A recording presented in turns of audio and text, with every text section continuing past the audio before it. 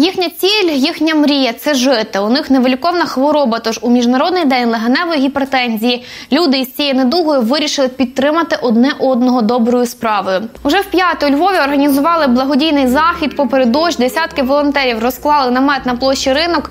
У ній частували містян та туристів теплою запашною кавою, пригощали солодощами. Панянкам робили мейкап. Натомість збирали гроші на потреби благодійного фонду, який опікується хворими на легеневу гіпертензію. Привертали увагу гостей міста лева творчі колективи. А кожен охочий міг випробувати долю і поборотися за призиві під час благодійної лотереї. Наостанок для дітей та дорослих, мужніх чоловіків і тендітних жінок організували активну руханку. Флешмоб підтримали й самі хворі на легеневу гіпертензію. Люди відчули всі бажаючи, що таке в принципі сама хвороба, коли людина в стані задишки не може себе контролювати, коли її вжимає серце, коли мало повітря. Суть була така соціальна, щоб люди відчули себе після майстер-класу, як це.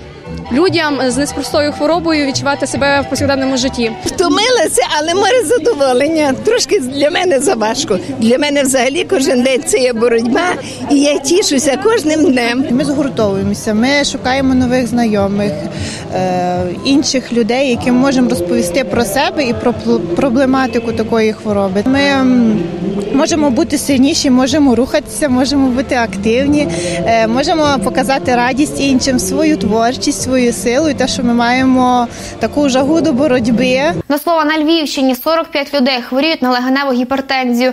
Вилікувати цю недугу неможливо, тож такі пацієнти повинні щодня приймати дороговартісні ліки.